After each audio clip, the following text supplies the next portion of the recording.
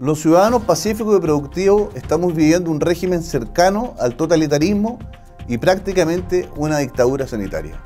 Nos gobiernan personajes bipolares, ineptos y políticos muy deficientes.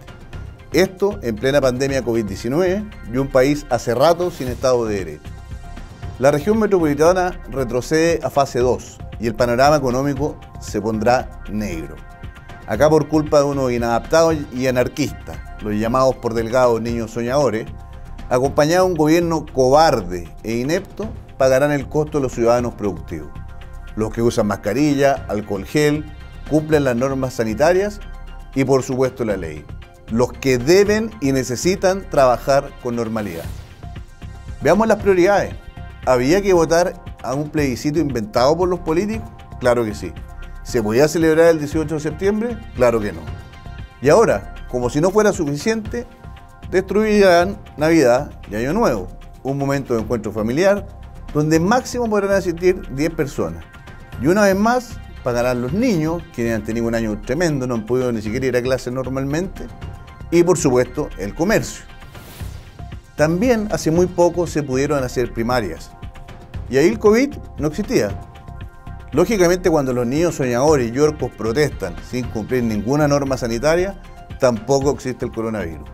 Pero si usted es emprendedor o comerciante y necesita funcionar en los fines de semana, está al margen de la ley y le caerá todo el monopolio de la fuerza.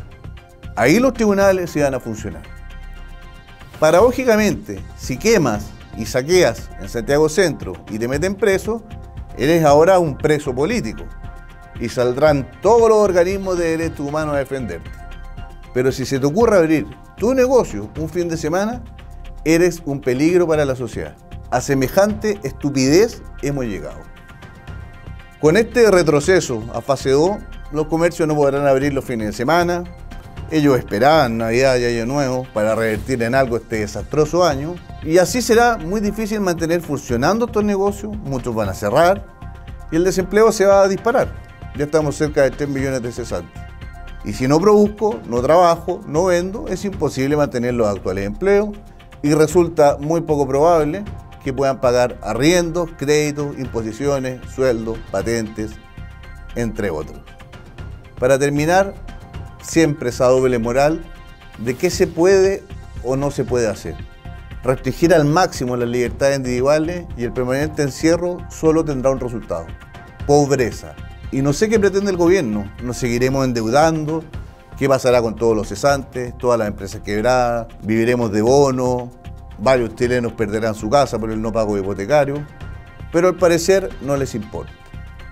Para terminar, paradójicamente, en Chile solo algunos cumplen la ley y otros no. Ya vimos al presidente el fin de semana pasado tomándose fotos en la playa, sin mascarilla y sin mantener distancia social.